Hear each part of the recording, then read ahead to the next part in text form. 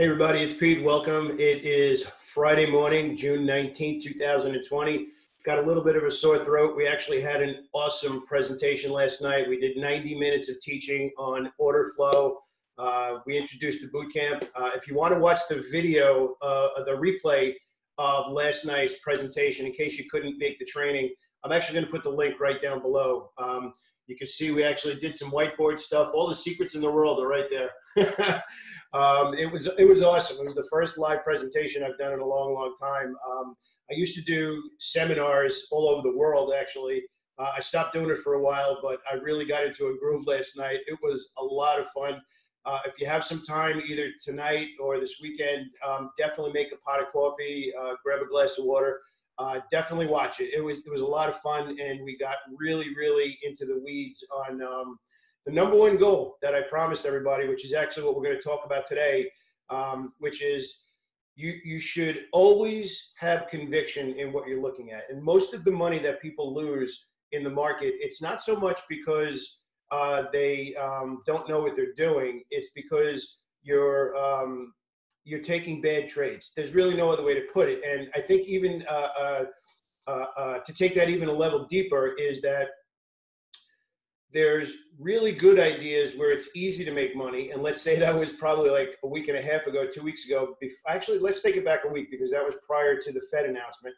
Um, and then the market action after the Fed announcement. And I think it's really important um, for you as a trader who, who's going into the market that you understand what does really good look like versus what does it look like when you should be pulling back or maybe not even being in anything.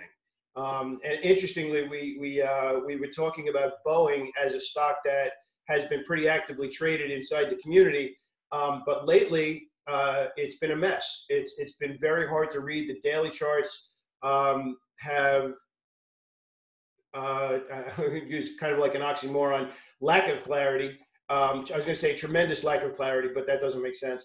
It, it, it's not clear. And I'm going to show you what clear means prior to um, what we're experiencing right now and what most of the market is experiencing right now, which is indecision type candlesticks, um, confusing type price action, super light volume, which by the way, you need to know what your average volume is in your stocks uh, in order to know when there's good liquidity, which that's when you can expect follow through. When I say liquidity, if you happen to be a new trader, that means that average daily volume of what the stock normally does. And you can find that anywhere really um, in any software. Uh, you can probably look that up on Yahoo Finance. Personally, myself, just to maybe give you a baseline, I don't trade stocks that trade less than 2 million shares per day.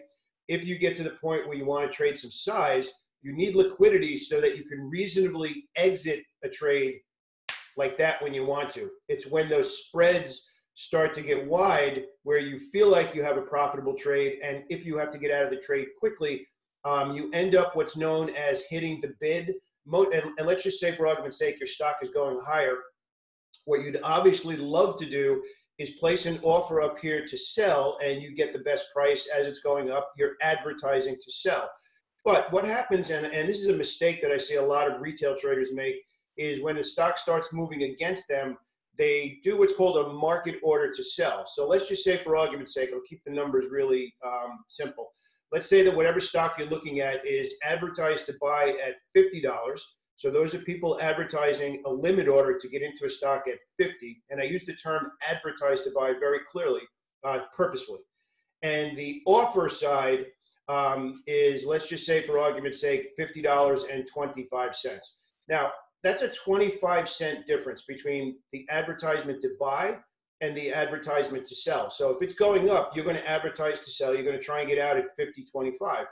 If you don't, most retail traders mistakenly will mark it out, which means you're hitting the bid in trading terminology, and you are actively selling to other people who are advertising to buy. Now that's where it becomes a big deal. And you don't realize how much this adds up over the month. And, and this is what I'm talking about liquidity.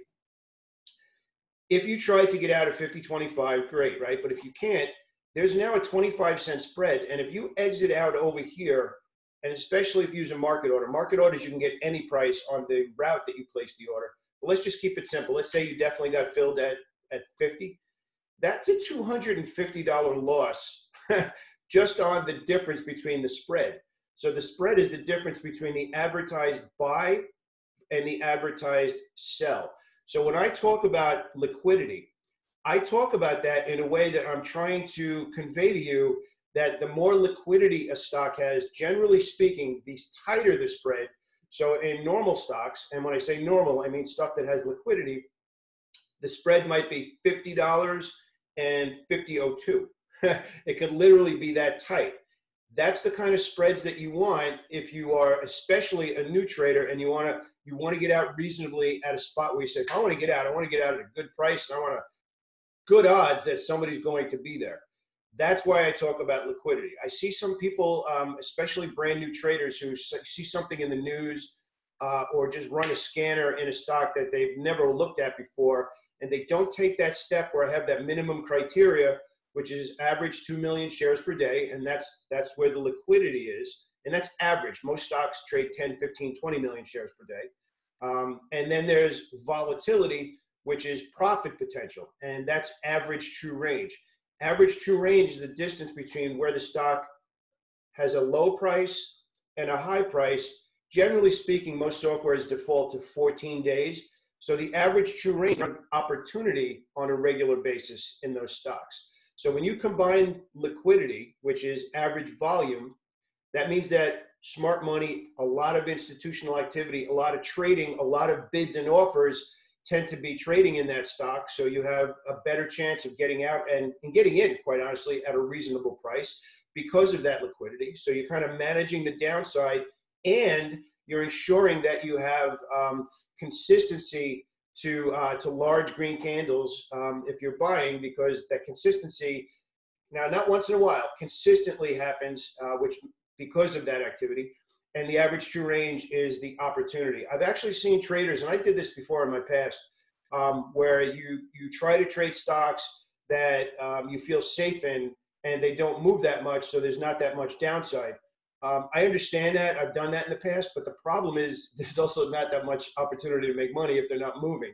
So you really have to balance opportunity um, and uh, risk. Uh, and the risk side can really be mitigated or reduced a bit when you're looking at um, average volume. Average volume is a big deal um, because you want to you want to feel like if I need to get out, I can get out where I want to. But what I want to focus on today is um, we're going to go into a, a quick explanation of why some traders had made super easy money, which we did in the community. You could actually watch that in the webinar, um, as well as um, why some traders are struggling right now. And it really comes down to the decisions you're making into which stocks are obvious and which stocks are noise. Uh, so I'm going to give two really, um, uh, I, I, guess, really obvious examples, which is why I'm going to use them. So uh, the first stock we're going to look at is a stock that we actually called out yesterday um, as one of our stock picks. Uh, so we're going to go over to the screen and I'm going to walk you through what perfect looks like um, versus what um, what you should stay away from, and that's causing uh, causing all the gray hair. all right, so we're going to go over to the charts and um, we're going to take a look.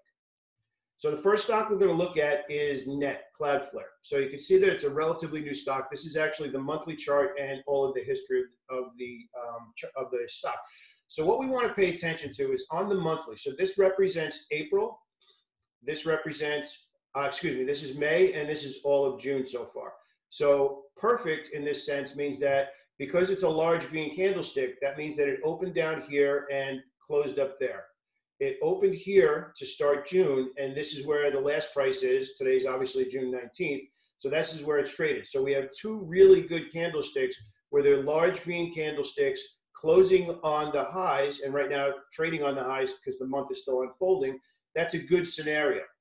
Then you go down to the weekly charts, and within those same two months, you have some weeks that we're doing the same thing. And obviously, this week has been a really perfect week from the buying side.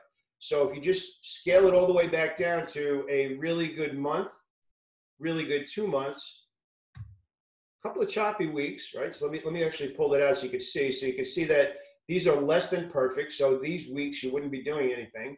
But because the month is still perfect, you line up and wait for one of these types of candlesticks, and this is what you end up getting. So you have Monday, Tuesday, Wednesday, Thursday, where you have green candlesticks, explosions in green candlesticks in the direction of a really good month and a good week.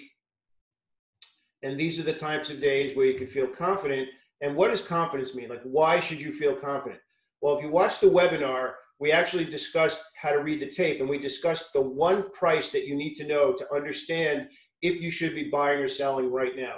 Now, here's the key each of these candlesticks are green and they're making higher highs and higher lows. So you can feel conviction, you can feel confidence that the way I described it in the webinar is everything looks good, but then you need to know when that changed. So I'm going to have a pretty stark image that looks different from this, which is Boeing. So you can see how different the Boeing chart is and why a lot of traders are uh, feeling frustrated, where Boeing obviously sold off pretty hard. So you can see that there was several months of selling.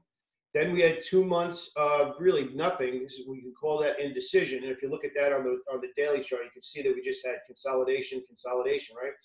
But then we exploded, and that was here. But this is June, and we had some parts of June that were positive. So the entire month so far has been positive. Then you had one really good week. Now, here's the key, and this is where a lot of traders got into um, a frustrating trading experience last Thursday and Friday, and for, for the most part, heading into this week because they didn't recognize what I'm about to show you. So, if we talk about what perfect looks like, if you want to be a buyer, that's consecutive green candlesticks making higher highs and higher lows, and best case scenario, closing on or near the highs. So, you can see that we had that for one week, which was here. Then the scenario changed. So immediately coming into the week, if Monday prints here, which that's the opening price, and you go into the week wanting to be a buyer, but the stock this week is a sale, smart money is selling that stock, that means that you have to say to yourself, wow, something different's happening this week. So I have to reevaluate what I'm looking at in the stock. And this is what ended up happening for the week. And now we're in this week where we're green, but we're anything but trading higher. So it's been a frustrating week because we need to do a better job of recognizing first and foremost what perfect looks like. And we're just going to come back to the screen. First and foremost, we need to know what perfect looks like. And if you're a regular viewer of the channel, you know that everything that I try and get across is that there's perfect and then everything that moves away from perfect. So I just gave you a really tiny sample of what perfect looks like. There's some more to it, but you should be able to at least look at a chart and say, okay, I understand what I'm looking at. And as long as that continues, I should feel confident. Then it's really just a question of do you understand how to time your entries in and out at the right at the right moment, right? So once you know what perfect looks like, anytime you look at a trade that's moved away from perfect, you have to sit back and you say, okay, it's not ideal. Uh, do I continue to trade it? Do I lower my share size? Or Boeing, as an example, do I do nothing and wait for the opportunity to look better? There's some scenarios in the market where there are really good opportunities. We just looked at net, we looked at SE, we've been watching uh, Lulu, which was perfect, didn't become, and then went up again. Um, so what you want to be able to do, just again, grab a grab a pot of coffee, click down and watch the um, watch the webinar replay from last night. We covered a lot of stuff. Um, we covered a lot of stuff. It was a lot of fun. Um, and then um, take a look at some of your charts and, and ask yourself, were you trading where it was perfect? And if you were, did you make what you were supposed to? Uh, and if you did trade when it was less than perfect, next time you'll recognize that and you'll take a step back and you say, you know what? This isn't what I want to see, so I don't want to put my money in harm's way. So hopefully that's a pretty good explanation. Um, if you have any questions, absolutely leave, uh, leave your feedback below the video. Definitely watch the webinar video. It's absolutely worth your time. And if you can please um, subscribe to the channel so you get updates. And I, that would mean a lot to me if you did. I'd really appreciate it. Have a great day. Be safe and actually have a great weekend too. Take care, everybody.